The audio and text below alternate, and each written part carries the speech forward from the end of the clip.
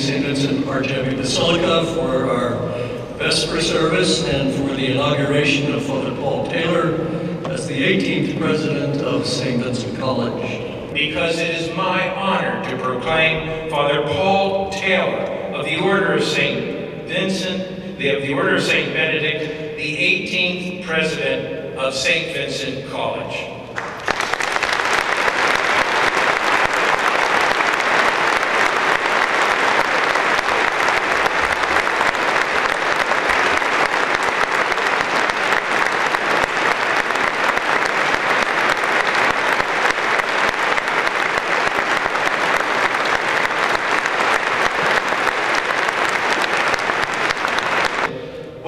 Of St. Vincent today is attributed to his leadership. We are grateful for your leadership, Arch Abbot, and thank you for all that you have done for St. Vincent in these many years.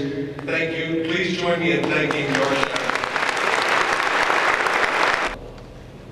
Together, we will work to support the mission of St. Vincent College by preparing our students to meet the challenges and opportunities in creating a world embraces our deepest ethical and spiritual values. This is the heart of the St. Vincent difference. We all belong. Thank you.